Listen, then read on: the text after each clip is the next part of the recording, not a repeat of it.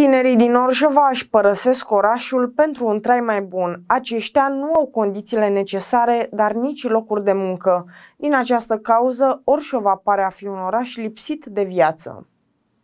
Aproape jumătate din tinerii noștri nu sunt fericiți în orașul în care locuiesc, mai mult de atât, siguranța și sănătatea lor sunt puncte foarte sensibile.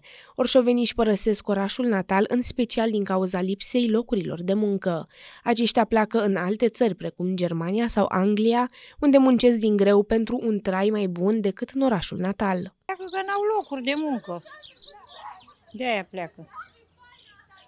Care pe unde apucă, acolo să duc, stau cu chirie, vai de păcatele lor, nu le ajung salariile, salariile sunt mici.